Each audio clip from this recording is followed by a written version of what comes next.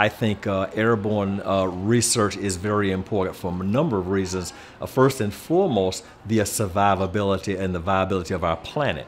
We need to understand the planet, the upper atmosphere, what's happening in it. We need to understand the evolution of our planet, where we're going, and thereby how best to take care of it because our survivability as a human species depends on that. So I think the work that PoSSUM is doing is incredible work because it helps us understand the planet, but also brings along that next generation of scientists, and uh, it just benefits everybody. It's a win win win win for everyone involved.